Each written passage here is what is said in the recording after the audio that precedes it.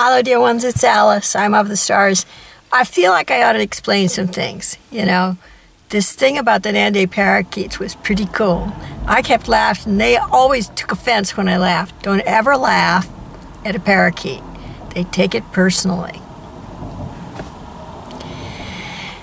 So, right before an X flare or during an X flare, it seems to me that I can hear all the animals talking. It's so weird. Animals talk, birds talk, demons dance everywhere. It's way so weird. And just to give you an example, it all seems to be cued to sound, the background noises. There are demons I've noticed solar flare or no solar flare that follow the airplanes and scoop down to the earth from the airplanes. They love that dark rumbling noise. So I was out at PCH, Pacific Coast Highway, for those of you that are not initiated, um, maybe around 3.30 in the afternoon. I was going to get myself a sandwich by the beach. Unfortunately, the place where I went, it's, it's right next to Route 1, PCH, and the sound of PCH is really, really loud there at the restaurant. And I went to park in a paid parking lot, right? The minute I pulled into that place, I knew there were tons of, I could hear them, tons of demons about. It had to do with the noise of Route 1. So I looked in front of me, and here was a guy. He was like looking at my parking place and taking notes. I'm going, uh oh, here's a plot afoot. Something's up. Behind me, there was a group of men sitting uh, at a picnic table, and they were very rowdy, kind of bullying feeling to them. And to the side of them was another man who looked at me, and he started laughing in, at me in a kind of a jeering voice.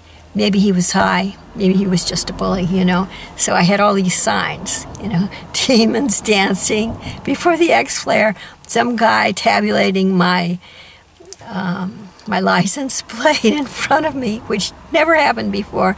A bunch of bully bully boys seated right behind on the other side between my car and the restaurant, and this guy jeering at me. My attention was on uh, staying away from danger. So, so I went to pay, and then I headed for the restaurant.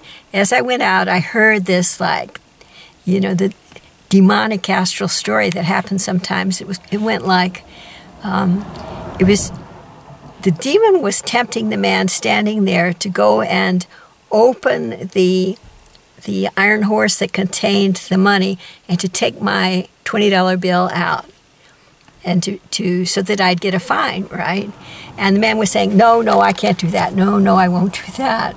So already I'm thinking something's really serious is in the wind. So I went to get my sandwich and that went without a hitch very fast. So then I went to get a seat and upstairs in the place where I sat, there were the eight bully boys sitting right there and and acting very, you know, very like mean, you know.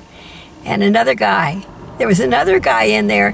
He was he was trying to to mesmerize, trying to brain control the woman that he was sitting with while they were eating. It's like, you know, a congress of demons informing a bunch of people to do bad things.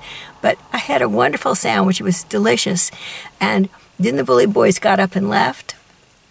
And then I heard the demon, the demon goes, um, well, we got your money out and and now you're going to find a big ticket on your windshield. Well, I'm thinking I haven't finished my baked potato, but I'll just take that along and we'll see what's going on. So I went back down to my car, nothing there. Then it occurred to me this guy might have succumbed. People do this all the time. Might have succumbed to that evil voice and made it, might have lifted that twenty dollars out of that out of that envelope. You know, on a day before next flare, all kinds of things can happen. So I went. I found a check and I wrote a check for $12, which was the true amount. And I put that in there thinking, you know, nobody can cash that $12 check. It wouldn't be worth it. And so, whatever it was that was planned that day, you know, it didn't happen. And then that was the very bad thing, you know. Very bad things and very good things manifested one after the other right before and during an X flare. So then I went to the to the nature center and there I found the Nanday parakeets and that's the story. God bless you all and keep you safe and be with you through all your days. Watch out for those demon demonic temptations right before the X flares. In love, light, and joy, this is Alice B. Clagett. I'm of the stars, and so are you. Come and visit me at my website, Awakening with Planet Earth. https colon slash slash awakeningwithplanetearth.com. See you there.